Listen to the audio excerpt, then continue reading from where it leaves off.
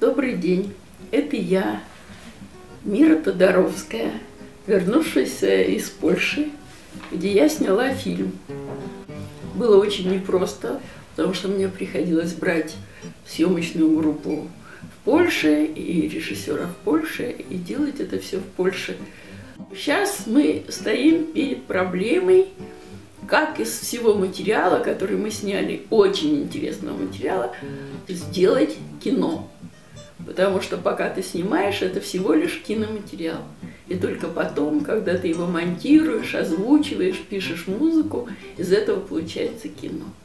Чем сейчас я буду заниматься уже с русскими своими коллегами. Мне было нелегко, можно даже сказать, очень тяжело, поскольку Министерство культуры на отрез отказалась финансировать сценарий, последний сценарий Тодоровского. То есть, не получив никаких, никакого финансирования, мне пришлось выходить из положения самой, как я могу.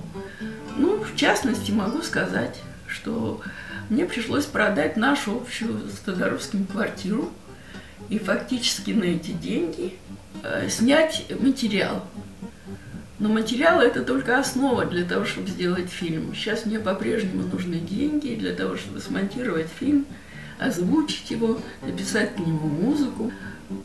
И еще много-много всего предстоит впереди. Я надеюсь, что на наши зрители и зрители, которые любили Тодоровского, как-то помогут мне сейчас справиться с этой непростой задачей.